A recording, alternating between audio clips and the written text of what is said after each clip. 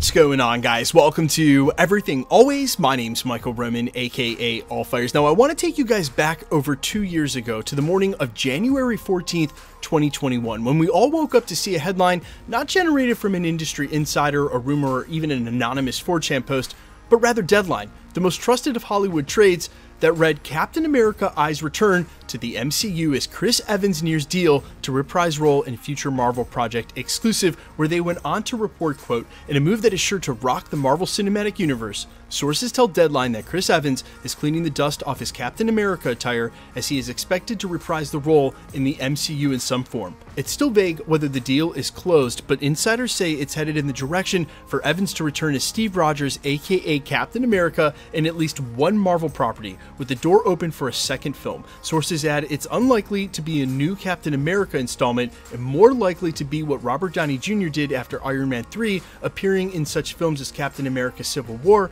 and Spider Man Homecoming, and of course, Marvel had no comment. Now, in the two plus years since this news, we've learned of two things. Number one, later that year, Black Widow would release to a bit of a public mess with the day and date release because of the pandemic, but in the wake of the reconciliation, it would be confirmed that Scarlett Johansson was returning at least as a producer on a top secret Marvel project. The second, that that project was likely Nomad, focusing on also bringing back Steve Rogers' Captain America, and this coming from several industry insider sources, and again over the last 24 four months. And that's where we pick up today with a ton of brand new details coming from various sources and Twitter scoopsters talking about what to expect from this project, who's involved, what it means for the future of the MCU and their involvement with other projects past this, and when this is actually set to start filming. We're breaking down the latest rumors and reports for the upcoming Marvel Studios Nomad project that'll see the return of Chris Evans, Steve Rogers, Scarlett Johansson's Black Widow, and of course Robert Downey Jr.'s Iron Man. But first, quick reminder, we do daily Marvel content at the channel and that's all we do, so if that sort of thing's for you to hit that subscribe button and leave a comment down below, that will automatically enter you to win our ongoing PS5 giveaway. The next one's right around the corner. Again, all you gotta do, be a sub, leave a comment, stick around to the end of the video.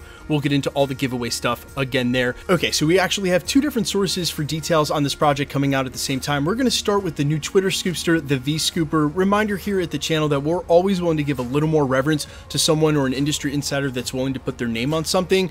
However, since he's new to the pool like a lot of these other industry insiders, and as of late, we're going to have to give him some time to see if these details come true. He starts by saying the MCU Nomad project will bring back Steve Rogers' Captain America, and that Nomad will allow us to revive the previous Avengers team up, not only for this project, but for future ones as well. He continues by saying that both Steve Rogers and Natasha Romanoff will appear once again in Nomad working together, with time travel and multiversal elements will feature the return of Tony Stark as a multiversal variant. This might be the first time in the multiverse saga that we will see Iron Man multiversal variant before Secret Wars. I can confirm that Robert Downey Jr., Chris Evans, and Scarlett Johansson have their contracts for this project. I will also mention we did talk about contracts for Robert Downey Jr. as of late, and while officials at Marvel Studios have often said he's a non starter for any of these Phase 4 projects, if you look at all of those quotes from people, they're always applying it in retrospect, as in during the pre development, they weren't considering it. There have been other sources in the industry who have been steadfast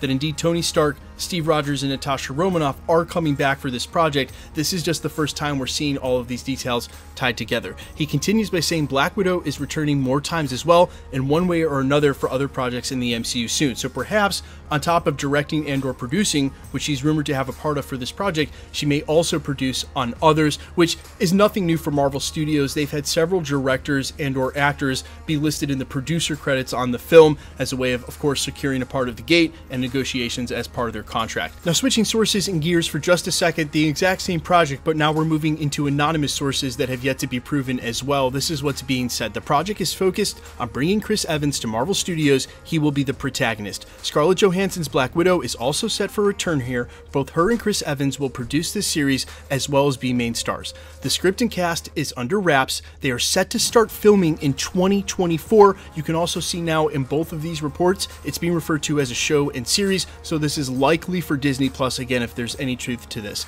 They continue by saying they still want to make a project where Captain America returns the Infinity Stones to their place and time this will be the series we will see that adventure. It's multiversal, we will see set in different timelines and alternate versions of the characters. It's also indicated that they're looking to bring in new directors of photography, which means changing according to this the visual style and cinematic image of the standards that we're used to in the MCU. They're searching for HBO-like visionaries for the Secret Invasion reshoots because a new cinematography eye is what they're looking for for perhaps future projects and a change for what Marvel movies look like going forward. Now, there's a reason I started the prologue the way that I did, that there were already grounds coming from verified sources for something like this happening, that there was only a matter of time before we heard some deeper details. I also want to mention, while a lot of this may seem completely far-fetched, we are not too far from confirming whether this is true or not because it's indicated pretty clearly that they start filming in 2024. I also want to say if this truly was looked at back in 2021, while there is going to be a ton of people who say, of course, Marvel is quote unquote in trouble, Marvel is quote unquote failing, now all of a sudden they want to bring back the All Stars from the Infinity Saga to save it, they were looking at this in 2021, which a long time ago, I know, full two or three years, was coming out of the pandemic, Black Widow hadn't even been released yet. That means they had real no metrics for how any of Phase 4 was going to look. Even WandaVision wouldn't come out until a month after that initial report by deadline, meaning this may have always been the plan, regardless of how Phase 4 went, to bring back these stars to sort of galvanize it. And what's more, as someone who's been reporting on this exact sort of stuff and for quite some time now, I have never quite seen this web, pun totally intended, of corroborating reports, starting with something like Deadline all the way down to the industry trades and scoopsters. 2024 right around the corner. This year is already gone by. We're already out of the first quarter already. When 2024 rolls around next year, if there truly is a project with Chris Evans filming Captain America in any capacity, it is going to be news in all over the place. There's just no way Marvel Studios is going to continue to be able to keep this under wraps.